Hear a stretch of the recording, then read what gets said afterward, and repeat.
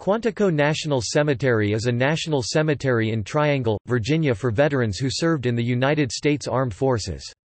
Adjacent to and originally part of Marine Corps Base Quantico, it was established as a national cemetery in 1983 with an area of 725 acres 293 hectares.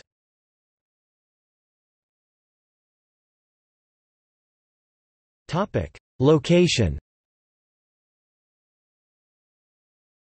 Quantico National Cemetery is located on land that was part of the U.S. Marine Corps training base adjacent to Quantico in Prince William County, Virginia. The land has been used by the military for over 200 years. First, around 1775 by the Commonwealth of Virginia for Navy operations, and later, as a blockade point for the Confederate Army during the Civil War. In 1918 a permanent Marine base was established at Quantico. The Marine Corps Schools, a forerunner of the Marine Corps Development and Education Command, was created there in 1921. Since 1941, the focus of the base has been individual education rather than unit training. In 1977, the Marine Corps donated 725 acres (2.9 square kilometers) of this land to the U.S. Department of Veterans Affairs National Cemetery Administration, to establish a facility at Quantico. The cemetery was formally dedicated on May 15, 1983.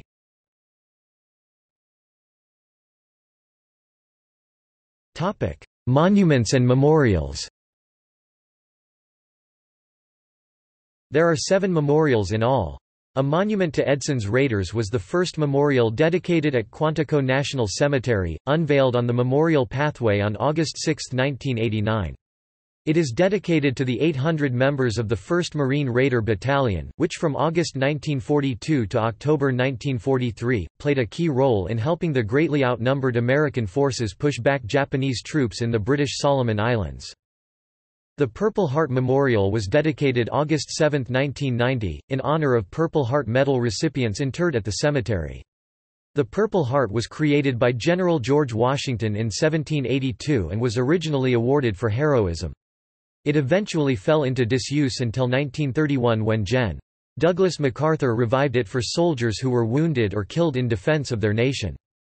Additional memorials honor, the 4th Marine or Fighting 4th Division, the Commonwealth of Virginia Memorial dedicated to honor all of the nation's veterans, the 1st Marine Division Memorial, and the 6th Marine Division or Striking 6th Memorial to honor the division that won the Presidential Unit Citation for its actions in the Battle of Okinawa during World War II. The memorial design is based on an Okinawan tomb.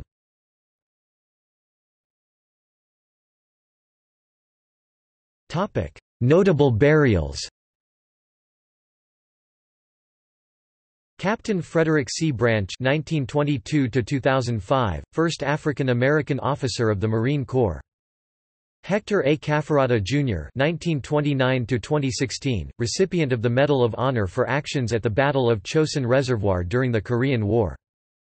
John Cephas (1930–2009), blues guitarist and singer, served with the U.S. Army in the Korean War. Charles Colson (1931–2012), Watergate figure and later evangelical Christian leader, served as a USMC captain in the Korean War. Herbert Harris (1926–2014), Democratic member of the United States House of Representatives from Virginia, served as a U.S. Navy officer during World War II. Colonel William Rich Higgins (1945–1990) was captured by a pro-Iranian Shiite Muslim group in February 1988 in Beirut while serving as chief of a UN observer group. His kidnappers killed him in July 1990. A cenotaph was erected until his body was repatriated in 1991. Chuck Hinton (1934–2013), Major League Baseball player, served in the U.S. Army. Louis R. Lowry (1916–1987), a World War II Marine combat photographer, took the picture of the first U.S. flag rising on top of Iwo Jima's Mount Suribachi in 1945. Matthew G. Martinez (1929–2011), U.S. representative, served with the U.S. Marine Corps. Samuel R. Shaw (1911–1989), brigadier general in the Marine Corps and advisor to President John F. Kennedy in the 1962 Cuban Missile Crisis. Eugene M. Stoner (1922–1997), engineer and firearm designer who developed the AR-15, served as a USMC corporal in World War II. Leon Uris (1924–2003), American novelist and USMC PFC in World War II. His novel Battle Cry was based on his experiences. General Lewis W. Walt 1913 Assistant Commandant of the Marine Corps from 1968 to 1971, interred with his wife Nancy 1917 2000, an Army nurse during World War II.